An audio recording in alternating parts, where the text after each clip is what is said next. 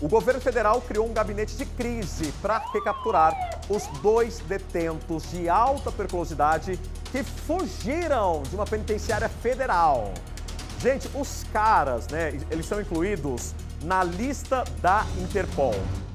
Agora a pergunta é, né, uma das linhas de investigação é de que servidores dentro do presídio federal possam ter ajudado. Vale lembrar que dois presos famosos condenados aqui de Mato Grosso do Sul, o Jamilzinho e o ex-guarda municipal Marcelo Rios, condenados em julho do ano passado, cumprem pena em Mossoró, no Rio Grande do Norte. Vamos entender então como essa fuga aconteceu? Põe na quadrada. A fuga aconteceu entre 3 e 4 horas da madrugada. Os presos identificaram uma falha no sistema de segurança da unidade prisional e conseguiram sair das celas. Depois, entraram numa área de encanamento, onde passam tubos e canos, e fugiram. Rogério da Silva Mendonça e Davidson Cabral Nascimento cumpriam penas por crimes como homicídio, organização criminosa e tráfico de drogas. Eles são é, reincidentes no, na, na prática, na tentativa de fuga. Inicialmente aqui no estado do Acre, onde eles foram recolhidos em várias unidades prisionais durante aí a sua atividade criminosa. Rogério Mendonça e Davidson Nascimento integram a facção criminosa Comando Vermelho, que tem origem no Rio de Janeiro. Eles estavam no regime disciplinar diferenciado e não podiam tomar banho de sol. Essa é a primeira vez que detentos conseguiram escapar de uma penitenciária federal no Brasil. O jornalismo da Record apurou que a Secretaria Nacional de Políticas Penais investiga a suposta participação de servidores da penitenciária durante a fuga. A secretaria também investiga se uma obra na unidade acabou facilitando a ação, visto que foram encontradas ferramentas nos fundos do presídio. A fuga gerou uma reação imediata do governo federal, que enviou integrantes para Mossoró. Em 2017, a Record esteve na Penitenciária Federal de Mossoró. O local tem 208 celas individuais, com 6 metros quadrados. As instalações são parecidas com as das outras quatro unidades de segurança máxima localizadas em Brasília, Porto Velho, Campo Grande e Catanduvas. As unidades são administradas pelo Ministério da Justiça. O objetivo é combater o crime organizado. O traficante Fernandinho Beiramar, condenado a mais de 300 anos de prisão, cumpre pena em Mossoró, por exemplo.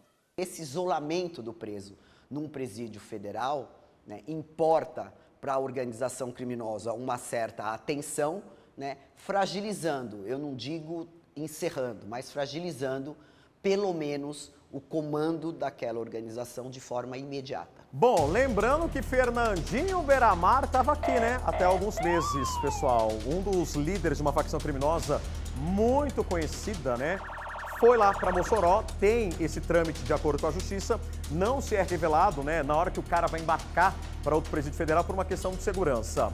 Vamos falar então o que, que vai acontecer com o Jamil Nome Filho, o Jamilzinho e o Marcelo Rios, que estão lá em Mossoró já há bastante tempo. Deixa eu conversar com o Luan Martins, porque Luan, presos famosos aqui de Campo Grande, eles que lideravam uma milícia, na verdade, né? Jamilzinho liderava junto com Jamil Nami, que morreu de Covid em 2021, o Marcelo Rios, que trabalhava para a família Nami, guardava um arsenal de guerra. Eles estão lá, né, Luan? E agora uma série de medidas foram adotadas em Mossoró para evitar novas fugas. É isso? Boa tarde para você. Oi, Rodrigão, muito boa tarde para você, boa tarde a todos. Depois da fuga desses dois presos, Rodrigão, lá no Presídio Federal de Segurança Máxima em Mossoró, o Ministério da Justiça já tomou algumas medidas, como, por exemplo, suspendeu os banhos de sol, as visitas dos familiares e também dos advogados nos cinco presídios federais que a gente tem aqui no Brasil, inclusive aqui em Campo Grande. Além disso, está sendo realizado um pente fino em todas essas unidades. Quem vai ser afetado com essa decisão, como você disse, do ministro da Justiça, o Ricardo Lewandowski, são dois conhecidos aqui de Campo Grande, o Marcelo Rios, preso e condenado na Operação Ormetá, acusado de gerenciar a organização criminosa de Jamil Nami, pai de Jamilzinho, que também está preso lá em Mossoró, na, no presídio de segurança máxima, E para eles também, olha só, Rodrigão, estão suspensas as atividades educacionais, laborais e também religiosas. Só serão mantidos as atividades emergenciais. O secretário de Políticas Penais do Ministério da Justiça, o André Garcia, ele convocou uma coletiva de imprensa hoje lá em Mossoró e ele deu mais detalhes sobre essas medidas e a gente vai acompanhar a partir de agora. Fizemos a elevação do nível de, de segurança de todas as unidades do sistema penitenciário federal, de modo a uniformizar e as prioridades e informar todas as direções da necessidade de reforço nesses procedimentos, de inspeções que a gente pode chamar de pente fino no jargão comum, e também de natureza estrutural para verificar eventuais problemas nas unidades, se é que eles existem, não é? E uma revisão de todos os procedimentos de segurança. Isso quer dizer que eles vão ser modificados? Não, isso quer dizer que eles vão ser revisados. Pessoal, agora, né? Lembrando que já meu nome e filho, Marcelo Rios, continuam lá, continuam presos, tá? Coloca mais uma vez para mim as imagens do presídio de Mossoró. Gente, são cinco presídios federais em todo o país. Um deles fica aqui em Campo Grande, o outro em Brasília, o outro ali, né, é, é na região Nordeste, um na região Norte e aí, se eu não me engano, o outro é na região Sul. Prepara aquele mapa para mim, Matheus. Separa aquele mapa onde tem os cinco presídios federais e, gente, é uma área tão isolada, tão isolada, que como que os caras conseguem fugir, né? Fugir de um presídio federal. Lembrando que respingou em Mato Grosso do Sul.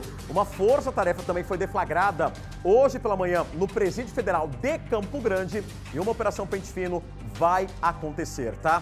Para quem vai no presídio federal? Fernando de Beiramar, líderes de facção, gente, pessoas de alta periculosidade. E lembrando, os dois internos que fugiram, aqui ó a tela, ó, Mossoró, Rio Grande do Norte, Porto Velho, Rondônia, Brasília, Distrito Federal, Campo Grande, Mato Grosso do Sul e Canta, Catanduvas, no Paraná. Um na região Nordeste, um na região Norte, dois na região Centro-Oeste e um na região Sul. Quem que ocupa um presídio federal?